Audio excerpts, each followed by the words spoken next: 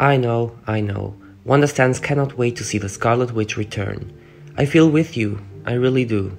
So we all know that Wanda didn't die on Wundagore. Even Kevin Feige uh, has confirmed it. I think that's not a debate anymore. But how and when will she return? In this video I want to share what I would like to see next for the Scarlet Witch.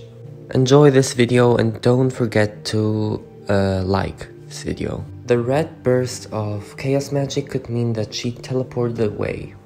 But I don't think she did this on purpose, I actually think she was unaware of what she was doing. We could also take away that she got many rocks on her head, which could lead to uh, memory loss. And if you think that's far-fetched, there is literally a comic based on those events. This is where Victor Von Doom plays in.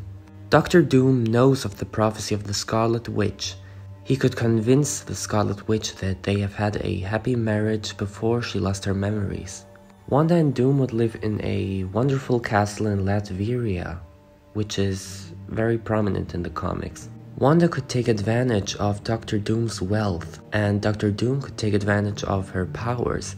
Let's say Doctor Doom faces off against the Avengers and having the Scarlet Witch on his side could uh, lead to very interesting storytelling.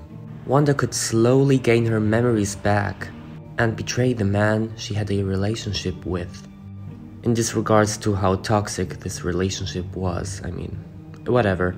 There are so many possibilities and so much potential. I really hope they introduce Doctor Doom like this. It's clobbering time! How would you like to see Wanda return next? Let me know in the comment section and I'll see you guys in the next video.